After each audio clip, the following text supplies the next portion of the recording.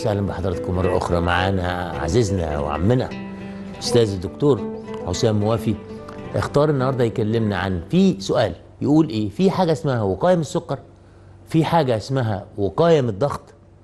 آه، آه، هنتكلم إحنا الأسبوع اللي فات اتكلمنا عن أنواع السكر وعلاجات السكر وكل الحاجات الخاصة بالسكر بقدر المستطاع. فهنتكلم النهارده عن في حاجة اسمها وقايه من مرض السكر. وفي حاجة اسمها وقاية من الضغط. ليه اخترنا المرضين دول مع دكتور حسام؟ عشان دول أكتر مرضين موجودين في الشعب.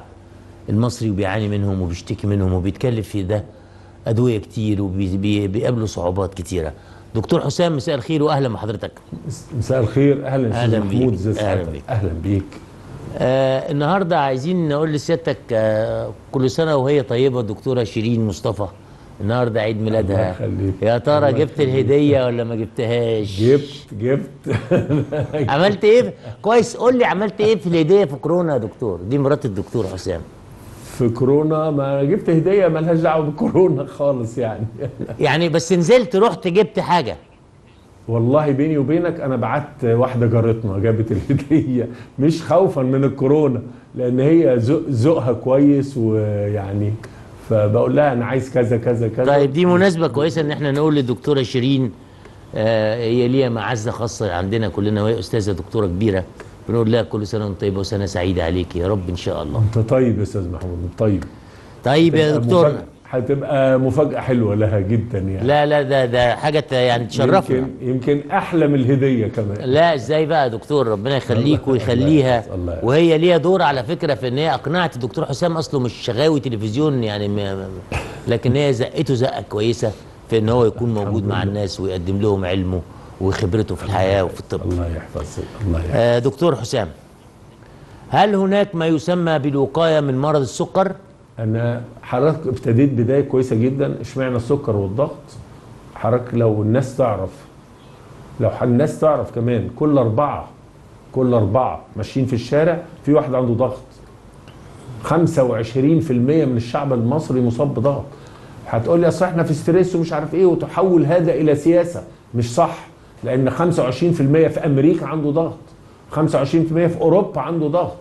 فمرض الضغط على السطح فعلا. هنفرد له حلقة لوحده لو ما لحقتش النهارده أقول له قاي لأن النهارده لا لا معلش على مهلك. يعني انا اختنا آه. يعني كما تشاء. أنا بستكمل الحلقة اللي فاتت في وقايه السكر طبعا. الإجابة بالإيجاب. فعلا في وقايه من مرض السكر. فعلا. نعم يبقى الإجابة نعم هناك وقايه الإجابة نعم. بس لمين؟ هل أي واحد ماشي في الشارع كده يقول لك أنا هعمل وقاية للسكر؟ لا. في ناس آه، آه، مستهدفين وهي الأسرة اللي فيها سكر. الأب عنده سكر الأم اللفظ اللي أنت. بتحبه سيئة السمعة. سي... آه، أسرة سيئة السمعة. هم دول اللي مستهدفين. ده والله لو مش على النصائح اللي بنقولها والله ما يعلى سكره. هو مريض سكر بس سكره مش هيعلى. هو واخد الجين وعنده ولو عمل أي انحراف في أكله أو في نظم حياته السكر هيعلى. طب أنا كدكتور هدفي إيه؟ أنا هدفي سكره ما يعلاش. ما يهمنيش أغير له الجين خالص. أنت أسرة فيها سكر ماشي. بس أنت أنا مش عايز سكرك يعلى. ففي طرق يخلي فعلا لو واحد أبوه عنده سكر أو أمه عندها أو الاثنين بقى. لو الأب والأم عندهم سكر يبقى الولد والبنت لازم يخلوا بالهم جدا جدا جدا. أنا قلت المرة اللي فاتت في ناس كتير فاهمة إن علاج السكر أدوية. هذا خطأ شديد جدا. علاج السكر ثلاث حاجات أدوية و- ورياضة ونظام أكل. لو اتعالج بأدوية بس أنت اتعالجت بالتلت. إحنا دلوقتي بتلت القوة. اسمح لي يا دكتور حسام إحنا دلوقتي عايزين نقسمهم. يعني رجل أو سيدة عندها أسرة لها هيستوري أنا بقول أنا ما بحبش سيئة السمعة دي أنت بتحبها. قولها أنت وأنا هقول لي عندها تاريخ. فأسرة لها تاريخ في هذا المرض. أيوه على الإنسان إن هو لو التزم بالتعليمات اللي حضرتك شرحت جزء وهتشرح بقيتها إنه ما أصلا ما يجيلوش سكر أصلا. آه يعني مش مش عايز كلمة ما يجيله السكر دي مش علمية قوي لكن سكره مش هيعلى. يبقى ما يبقى كويس يبقى لا هيفضل في الحدود. السكر. أوكي آه. هيفضل في الحدود الأرقام الطبيعية ده غير اللي جاله السكر وارتفع وبياخد أدوية وحاجات زي كده فهنتكلم عن. الحالة. الحالة هنتكلم عن اللي سكره معليش وخايف إنه يعلى تمام ممتاز هنتكلم الأول عن الرياضة مم. كثيرا من الناس مش عايز أقول كل الناس لكن كثيرا من الناس كثيرا جدا فاهم إن الرياضة تخسس. معتقد كده. يقول لك أنا هاكل اللي أنا عايزه وألعب رياضة. لو جبت أحسن لاعب كرة في العالم وطلع بره نظام أكله هيتخن مع إنه بيلعب ثلاث ماتشات في الأسبوع وبيجري وتدريب. الرياضة يا إخوانا ما تخسس. الرياضة الرياضة لها فوائد شديدة شديدة جدا. لكن كلمة تخسس أنا آسف. ليه؟ حضرتك لو مشيت ساعة ساعة كاملة تفقد في الدقيقة كم سعر حراري؟ هقول يعني إيه سعر حراري؟ هي وحدة قياس الطاقة. يعني الطماطم بالكيلو واللبن باللتر والزيت باللتر. طب والطاقة؟ بالسعر الحراري. الطاقة هي الحاجة اللي أنا بس بطلعها عشان أحرقها عشان أقدر أتحرك. فلو مشيت ساعة أفقد في الدقيقة 3 وأربعة من عشرة سعر حراري يعني 240 في الساعة يعني نص رغيف جبنة نستو. تخيل؟ فالرياضة لها فوائد هتكلم عليها. بس إن لم تكون مصحوبة بأكل سليم كأنك ما بتعملش حاجة. أنت استفدت من الحاجات التانية. بتعمل إيه؟ في حاجة اسمها معدل الاحتراق. يعني إيه معدل الاحتراق؟ حضرتك لو أنت في عز الشتاء يناير ساعة وأنا قاعد مرتاح. طب أنا كم متر مسطح؟ الإنسان الطبيعي بين واحد وسبعة من عشرة واثنين واثنين من عشرة. نقول المتوسط آه، اتنين متر. تمام؟ يبقى بيطلع 80 سعر حراري وهو قاعد مرتاح كده ده اللي خلى المدرج سخن. كل واحد يعمل كدفاية. بيطلع 40 سعر حراري من كل متر يعني 80 شوف بقى 1000 واحد في 80 سعر حراري تبقى الأوضة فرن مع إن الجو بره برد جدا. ده اسمه معدل الاحتراق. ال 40 دول اللي في المتر من الساعة اسمه معدل الاحتراق. الرياضة تعليه تخليني أفقد سعرات حرارية من كل متر أكتر من 40 ده أول ميزة في الرياضة. تقول لي طيب ما هو ده هيبقى اثناء ما أنا بجري. أقول لك لا وست ساعات بعد ما تجري. حضرتك لو تلاحظ لو مشيت شوية أو جريت يفضل جسمك سخن مدة طويلة بعدها. ده ارتفاع في معدل الاحتراق. ده مه- مهم جدا. نمرة اتنين ال 240 سعر اللي فقدتهم وأنا ماشي لمدة ساعة اللي هي نص رغيف جبنة نستو. حلوين. نمرة ثلاثة قيمة جدا جدا جدا وبنصح بيها كل مصري. المشي هو ال- ال- ال- اللي بياخد مخدرات بياخد مخدرات ليه؟ اللي بياخد مورفين بياخد مورفين ليه؟ عشان مزاجه يتعدل لا إذا سألت هقول لك والله عشان أنسى. تقول له تنسى إيه؟ يقول لك والله ما أنا فاكر. ما أنا فاكر. لا عشان مزاجه يتعدل. تخيل إن الرياضة من العضلات اللي بتتحرك تطلع مادة مثل المورفين تعدل المزاج. حقيقي. ده عمرك شفت ري... آه والله. لا ده كلام. أنا شخصيا مجربه. لما يوم ما بمشيش بيبقى مزاجي مش كويس مزاجك. يبقى وحش. لا أنا عايز أقول لحضرتك حاجة بقى. إيه، شوف أي رياضي هتلاقيه مبتسم مع إن فريقه مغلوب. أنت متنرفز جدا.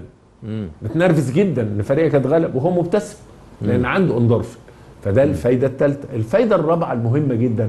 فاكر حضرتك في حلقة اللي فاتت قلت لك نوعين من الإنسولين نوع نوعين من السكر نوع الإنسولين واطي فيه ونوع الجسم مش شايف الانسولين النوع الثاني لما يعمل رياضة الجسم يشوف الانسولين. يعني إذا ممكن نتعالج من غير أدوية. لو عملت شوية رياضة أتعالج من غير أدوية. ودي حاجة مهمة. نمرة خمسة ودي مهمة جدا جدا.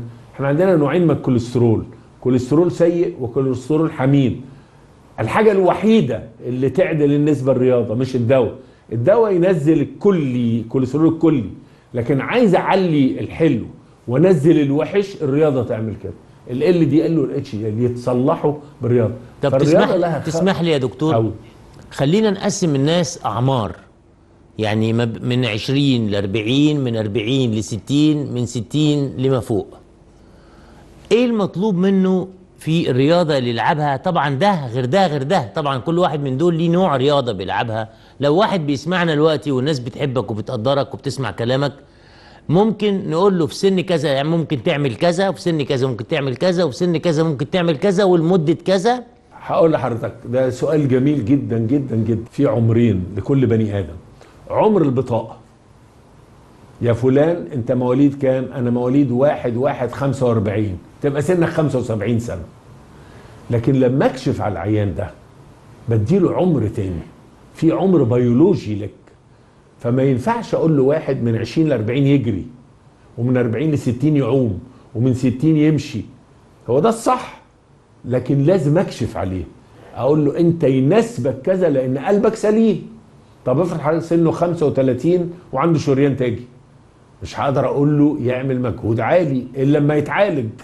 فعشان كده بلاش نعمم عشان كل واحد لازم يروح لدكتوره يقول له أنا سني كام سنة الطبي؟ أنا ممكن ألاقي واحد يا أستاذ محمود 35 سنة؟ أقول له لا ده أنت 65 أنا ما بقولش كده لأن بزعل الناس.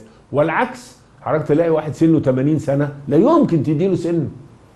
ده أنت بس- بس- ده آه بس في رياضة بتبقى رياضة عمومية اللي المشي مثلا. السباحة. دي بقى مفيدة في كل الحالات اللي حضرتك شرحتها كل الب- البلبطه ما بقولش يعوم كرول في 100 متر رايح جاي لا ينزل يبلبط والمشي. المشي, المشي. ده تحفة. تحفة. لو يمشي كل يوم 45 دقيقة يحمي نفسه تماما. فإحنا يبقى اللي من أسرة سيئة السمعة لازم يعمل لها رياضة. تاريخ أسرة لها تاريخ كويس. اللي من أسرة لها تاريخ تمام. لازم يعمل رياضة يوميا. تحت يوميا 100 خط. وإذا ريح يوم في الأسبوع أو يومين مش مشكلة. والله أنا هقول لحضرتك ليه؟ المشكلة نفسية.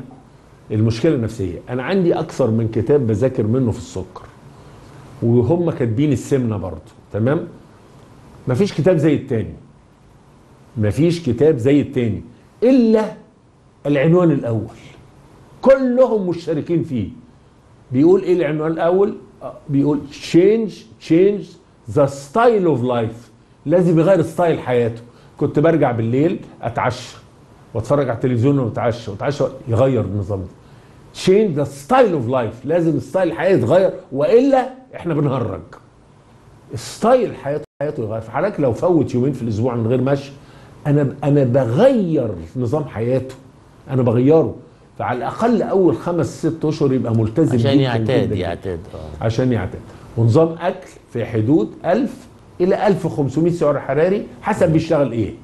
إذا كان طيب. بيشتغل مثلا مو... آه. يا خالتي أم محمد اللي هي طول النهار قاعدة تنظف البيت وتطبخ وتغسل وتنشر لو خدت 1000 لا 1000 كويس قوي عشان. لا يعني دي مش محتاجة تمشي بقى دي تمام كده ما طول النهار رايحه جاية في البيت. لا تمشي برضه. أصل شغل البيت آه، يجيب اكتئاب. أنا عايزها تمشي آه تشم أنت عايز تحسن نفسيتها. عايز أحسن المود. آه. عشان أنا أقول لحضرتك إحنا جربنا حاجتين. تقول له واحد كل كذا كذا كذا.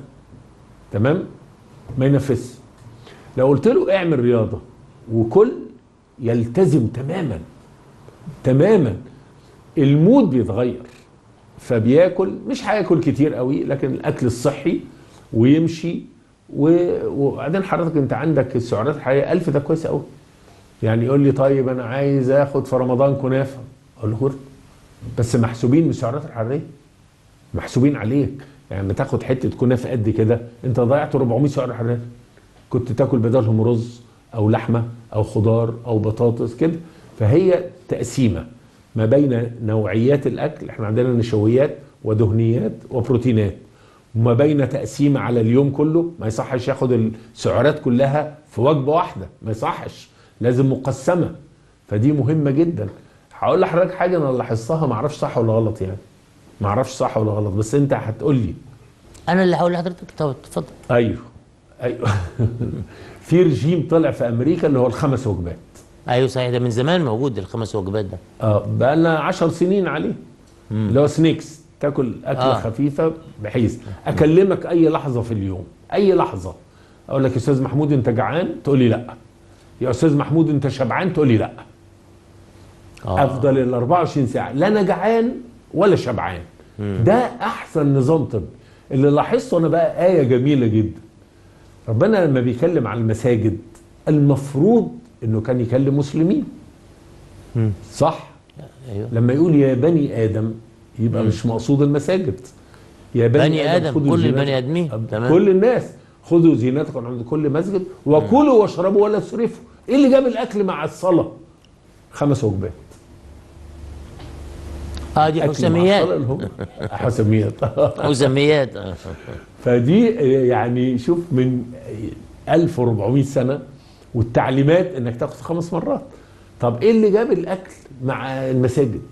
ده مفيش فلوس stop مفيش آية جديدة يا بني آدم خذوا زينتكم عند كل مسجد وكلوا واشربوا ولا تسرفوا لا تسرفوا أدي الرجيم الأصلي ما تشبعش نمرة اتنين إنك تاخد خمس مرات في اليوم snacks يعني مع صلاة الفجر خد ربع رغيف جبنة مع سن... آه، كوباية شاي بلبن.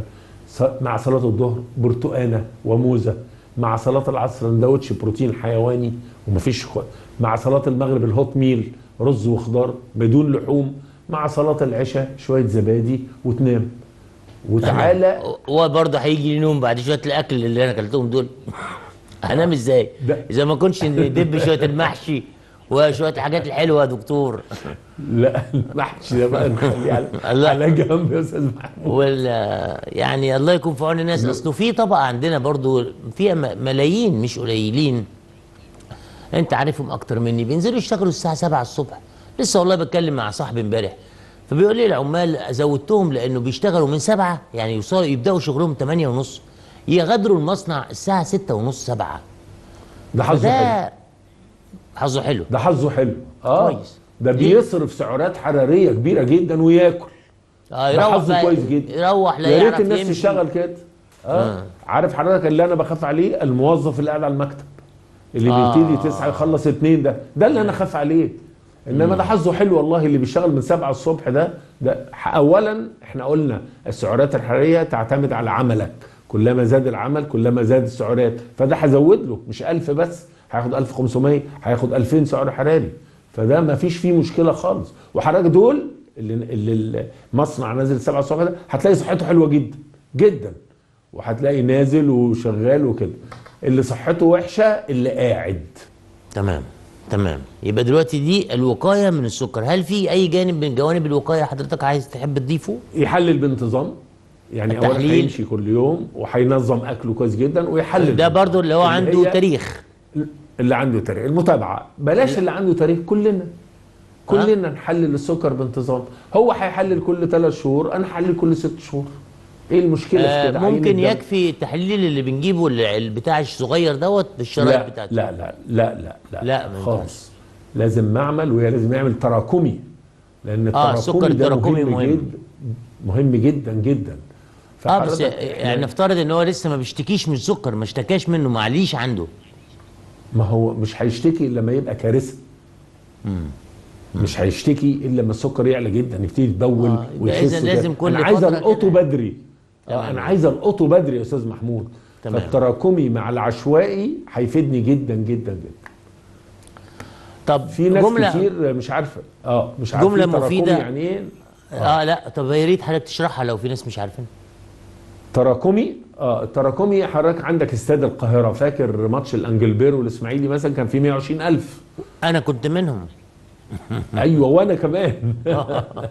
أنا كنت منهم. ناس واقفة على طبعا. هو ده ماتش ينسى أنا ما النور ماتشات كورة ابدا. رحت ماتشات معدودة من ضمنها ماتش الإسماعيلي والانجلبير ده طبعا وكسبنا 3 1 يا سلام. على أبو جريشه أيوه. على أبو جريشه يا سلام. جدا. كان يوم جميل. فهفترض إن ال 120000 دول كانوا في الاستاد. تمام؟ وعرب وطيارة هليكوبتر فيها كيس سكر. كيس واحد. رمته على الاستاد. السكر ده هيلزق في كام واحد؟ 2 3% مم. ده بالكتير لأنه كيس. طب افرض كيسين هيلزق في 5 6% طب افرض شوال طبيعي. سكر. هيلزق في 15% كلما زاد السكر اللي برميه في ال... على الاستاد كلما زادت النسبة اللي هيلزق فيها السكر. الهيموجلوبين وهي المادة المسؤولة عن حمل الأكسجين داخل الكرات الحمراء بيلزق فيها السكر. كلما علي كل ما عدد الخلايا أكتر لزق فيه. الطبيعي 5% من الخلايا الحمراء يلزق فيها سكر. طب لو سكر عالي يبقوا 7% طب لو عالي شوية يبقوا 10% ده التراكمي. آه. فايدته إيه؟ فايدته إيه؟ الخليه الحمراء عمرها ثلاث شهور يا أستاذ محمود. فبيقول لي السكر الثلاث شهور اللي فاتوا أخبارهم إيه؟ مش النهارده أخباره إيه؟ مظبوط. يقول لي أنا- ثلاث أنا الحقيقة شهور. أنا بعمله بانتظام وأول مرة أعرف تفصيلته. يعني آه. أول مرة أعرف تفصيلته علميا بصراحة. أول مرة أسمع التفصيل. أنا ما أعرف لازم اعمل سكر تراكمي لازم أشوف أخباره إيه بتاع كده. تمام. هقول لحضرتك ليه. افرض أنا مريض سكر. تمام؟ وما عنديش ذمة. ما عنديش ذمة. دي ما نقدرش نفرضها يا شغلي. مم. فرضا يعني. فأنا عايز آخد أجازة. هروح جايب برطمان مربى واكله ورايح لدكتور الشغل أقول له قيس لي السكر يطلع 300 تمام؟ تمام ده ال 300 ده النهارده عشان واكل مربى تمام؟ هاخد أجازة. طيب أنا برضو ما عنديش ذمة وعايز أتعين. عندي سكر. أمشي على العلاج مظبوط جدا والإنسولين وأروح أقول لهم حللوه يطلع 120 التراكمي يفضحه. آه التراكمي ده التراكمي ده و- مش عينة واحدة. التراكمي ده ثلاث شهور. تقول له لا انت راجل كذاب ده انت سكرك 400 ده النهارده بس اللي 120 لأن المتوسط بيطلع لي من التراكمي. تمام. فالتراكمي رقم مهم جدا جدا جدا. دكتور أنا بشكر